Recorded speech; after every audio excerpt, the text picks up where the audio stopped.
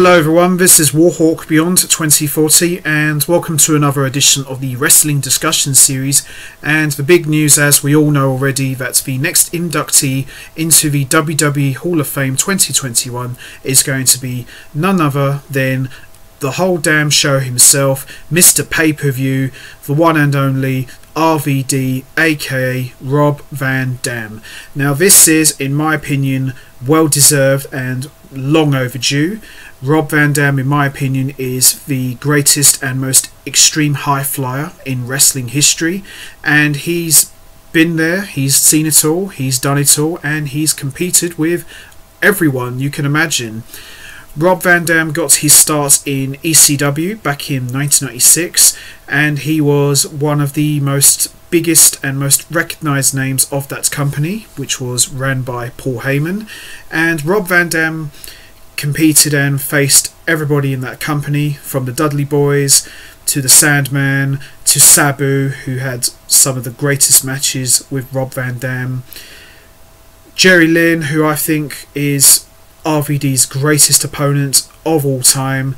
You name it. Tommy Dreamer, Raven, the list goes on. Rob Van Dam was one of the biggest, if not the biggest star of ECW. He was the ECW TV champion, which he held for 23 months, and the only reason he lost that title was because he injured his leg during a match. So that was the only reason why Rob Van Dam lost that title, but he was undefeated for 23 months as the ECW television champion. And for some of you who may not remember this, Rob Van Dam made a brief appearance on WWF Raw back in 1987 and he wrestled there for a couple of weeks and he was gone. But Rob Van Dam would make his full time WWF debut in July 2001 as part of the Invasion angle when WCW and ECW formed the alliance to try and put Vince McMahon out of business.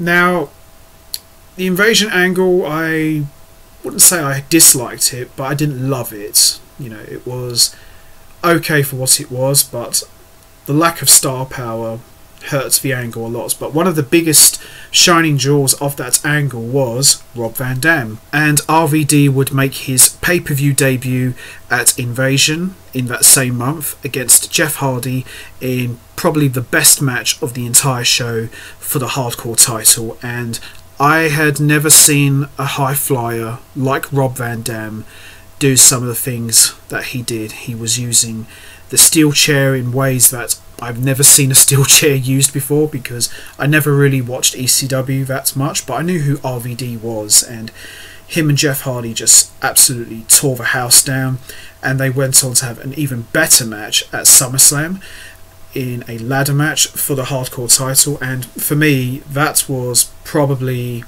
my favourite match of that entire show. I enjoyed SummerSlam 2001, but that match in particular was just unbelievable.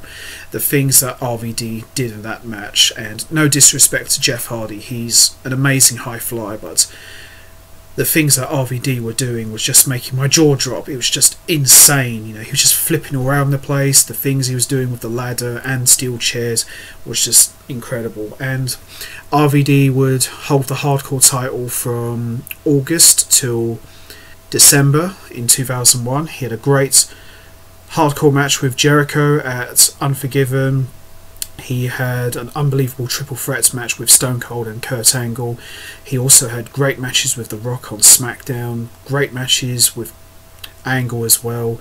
You know, he also faced The Undertaker in a hardcore match at Vengeance, which surprisingly turned out to be really good. It was actually match of the night, as far as I was concerned. And RVD was just an amazing high flyer. He would face lots of big names Triple H, Ric Flair, Randy Orton, Batista, you know, Eddie Guerrero. They had a great ladder match in 2002 for the Intercontinental title.